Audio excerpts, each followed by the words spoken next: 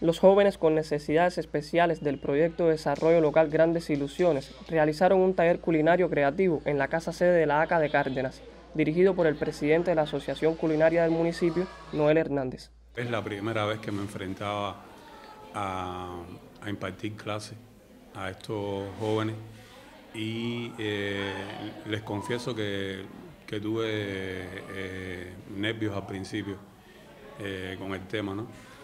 Pero me ha encantado, e incluso me ha gustado tanto que lo vamos a volver a hacer.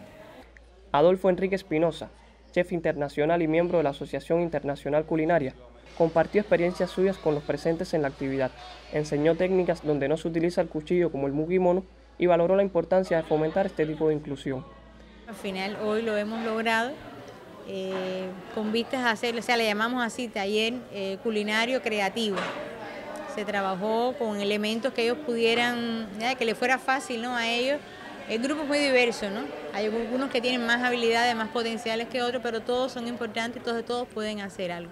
Entonces hoy se trabajó con, eh, o sea, tratando de la, calabaza, no sé si lo pudieron ver, con la calabaza hicieron flores, hicieron un búcar, buscando este, este, este elemento, ¿no? Que eh, también Adolfo les explicó, ¿no? El origen, la causa, sea, que tiene. Este tipo de encuentros tiene como principal objetivo instruir a los jóvenes y buscar un espacio de interacción donde puedan desarrollar nuevas habilidades y sentirse incluidos en la sociedad. Fue un reporte de estudiantes de periodismo para el sistema informativo.